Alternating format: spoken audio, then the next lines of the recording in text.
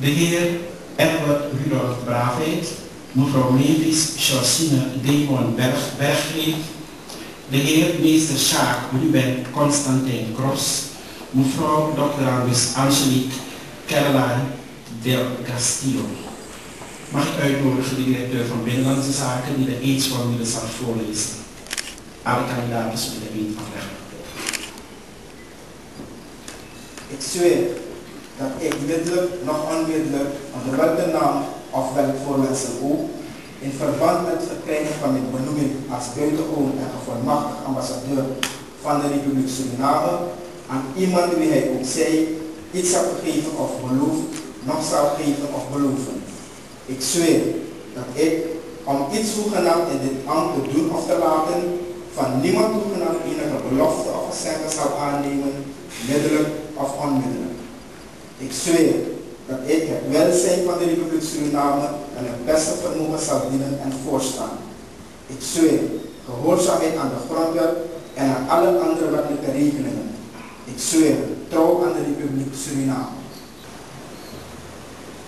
Ik denk dat ik u ter aanmoediging en niet tot ontmoediging eigenlijk mag zeggen dat in zulke gevallen het betreden van een nieuw ambt de eerste ervaring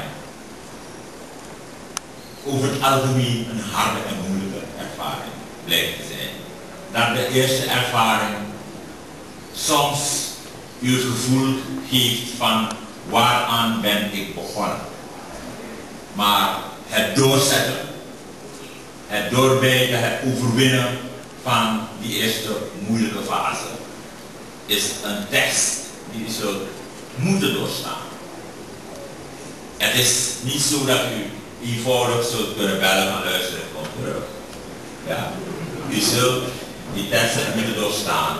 En laat dit moment van de beëdiging ten hoeve staan van al deze autoriteiten.